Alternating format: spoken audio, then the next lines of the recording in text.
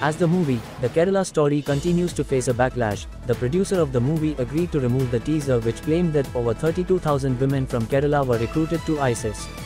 The producer told the Kerala High Court today that the teaser will be removed from their social media accounts.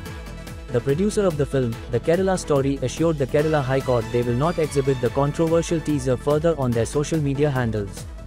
The teaser claimed that over 32,000 women from Kerala were recruited to ISIS.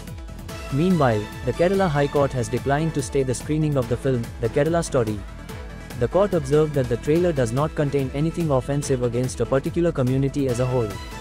The court said that a competent statutory authority like CBFC has examined the movie and found it suitable for publication.